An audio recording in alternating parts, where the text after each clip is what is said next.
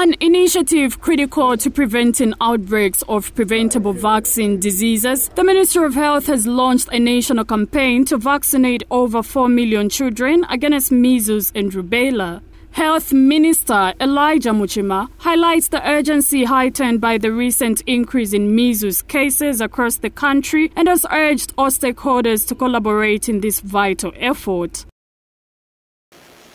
There is no reason why measles should continue affecting and claiming lives of the children in our country. Upon all stakeholders, including traditional, religious, and civic leaders, to work with government in promoting and advocating for vaccinations for our under five children in the country. Meanwhile, World Health Organization country representative Dr. Nathan Bakyaita has expressed the global community's support.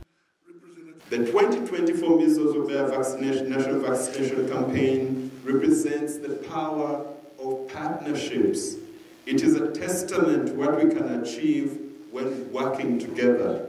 Government, international organizations, civil society, communities, and ultimately families. Our shared goal is simple yet profound. We have to make 4 million children aged 9 to 59 months in 116 districts VIPs by protecting them from the harmful effects of measles.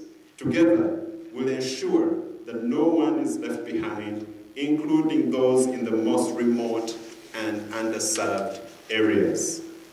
The Churches Health Association of Zambia also emphasized its dedication to the cause, reinforcing the belief that every child in Zambia deserves vaccination and the protection against preventable diseases. Yes, they are free because you receive them for free, but I want to, to remind you that the government pays for these vaccines. Yes, the payment is commingled with other partners putting their money on the table, but the government actually makes payment for these vaccines. Let us ensure, therefore, as citizens, that the resources invested in vaccines are not wasted. And how can we do this? We can do this by taking our children for vaccination. Nicole Namwinga for Diamond News.